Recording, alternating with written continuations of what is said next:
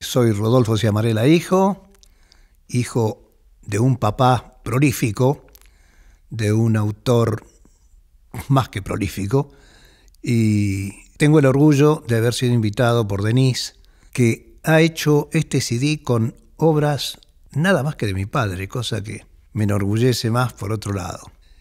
Bueno, yo quería hacer una reseña de la existencia de, de papá.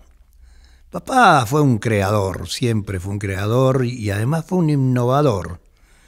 Fue un hombre inquieto que hizo muchas cosas nuevas en lo que cabe no solo al género, sino a actividades. Por ejemplo, los primeros teatros de revistas.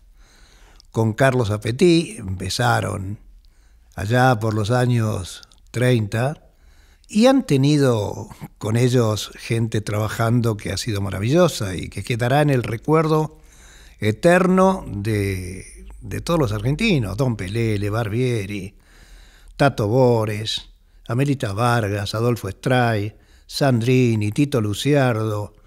Yo no sé, yo me acuerdo que a mí me llevaban con el cochecito al teatro y yo les vi esas caras y después cuando fui más grande lo fui reconociendo ya no sabía qué infancia había tenido.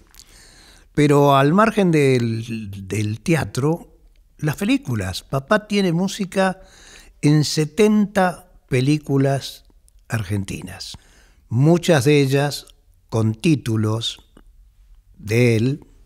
Vamos a dar un ejemplo que es Besos Brujos, con Libertad Lamarque.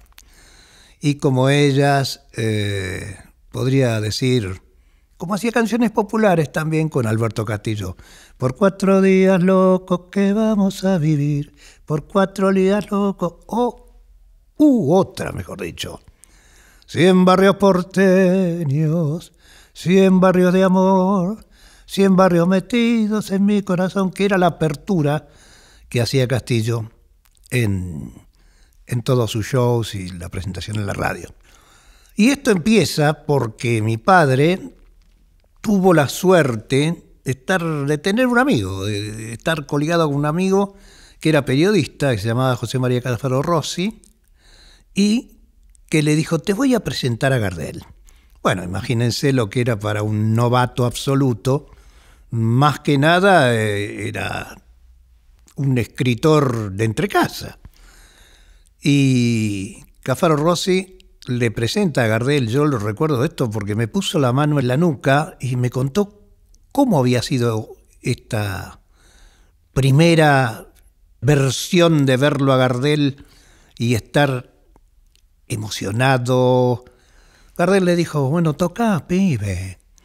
Y papá tocó lo que fue su primer tango, que era No te engañes corazón. Y Gardel le puso la mano en la nuca, como él me la ponía a mí para explicarme, y le dijo, pibe, tenés un gran futuro. Y le grabó No te engañes corazón. Y después Vieja Ricó, Hacelo por la Vieja, Chatita Colar Celeste, Dos en Uno, no sé, y así arrancó su carrera. Y bueno, también como siempre fue un hacedor, eh, ¿qué hizo?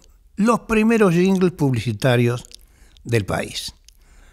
¿Quién no se acuerda de haber ido a la cancha alguna vez y escuchar si su piloto no es aguamar, no es impermeable, le puedo asegurar.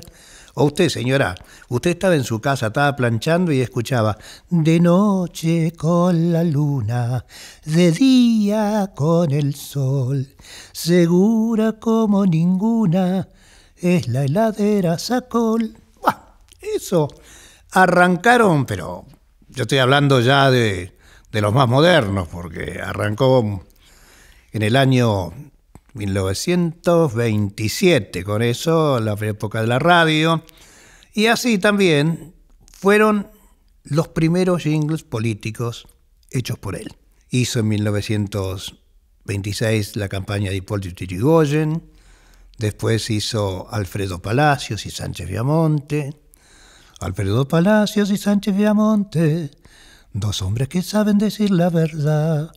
Alfredo Palacios y Sánchez Viamonte son dos paladines de la libertad.